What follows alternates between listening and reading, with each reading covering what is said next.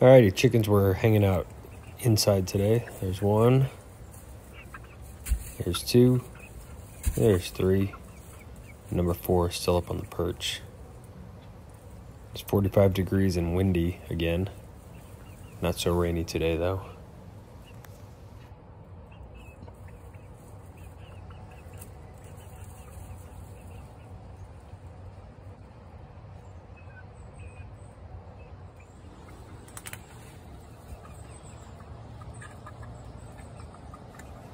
The paracord from yesterday was gone.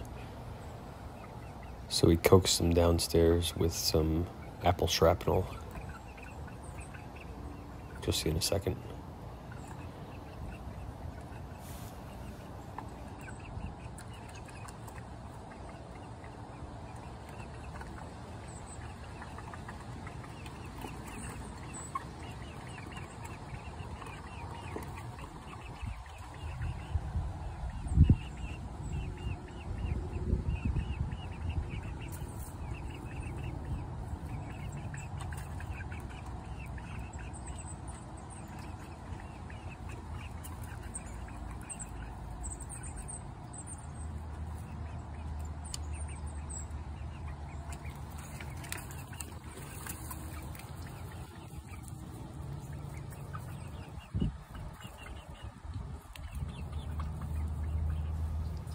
That's about it.